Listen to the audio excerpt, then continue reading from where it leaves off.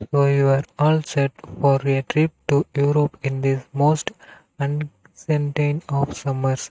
You have booked your flight, navigated all the paperwork for your destination and for getting home, and have prepared yourself for snuffers along the way.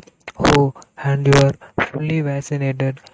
Now, just a couple more things. Time to book the hotel and the car rental.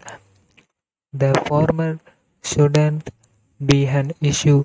Outdoor places are booking up fast, and the latter is never a problem. You can always